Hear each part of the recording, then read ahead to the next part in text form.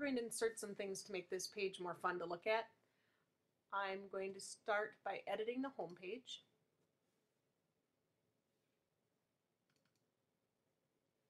And going to insert, I have lots of choices. On the home page, I'm going to put an image of me.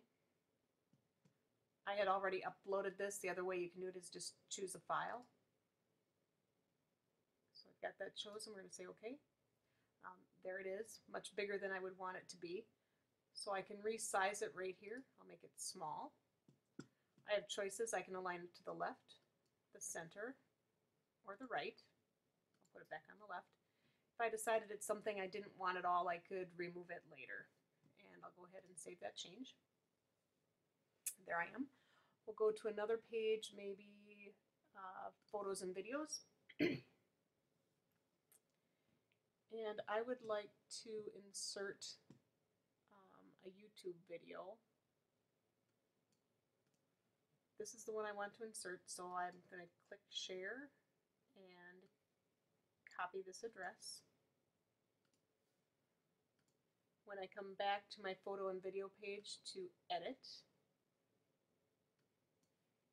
and I'm going to insert a video from YouTube. I can paste uh, paste the link here. I'm going to change this to meet my family. Hit save.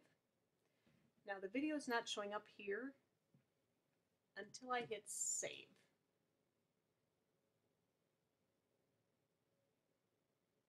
There you go, and that video is ready to go. If you want to test it, you can um, test it at this point as well. So there we go. It's a little loud. Um, the other option you have are there are lots of gadgets to insert as well. I'm just going to go to the teacher forum page to give myself a blank working space. Edit, come to insert, and at the bottom there are more gadgets than you can imagine. Um, I know the fish are pretty popular, so we can insert these fish. I'm going to select this gadget. I've got some choices um, with the fish. I can leave this light blue or change the color.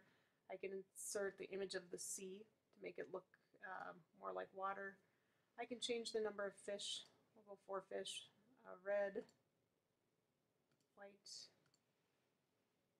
blue, blackfish, hit OK. Again, this is not going to show up until I hit save, hit save. There are my fish, and I can spend time feeding them if I'd like. So again, anytime you want to insert, edit page, go to insert, take a look at your options. There are several.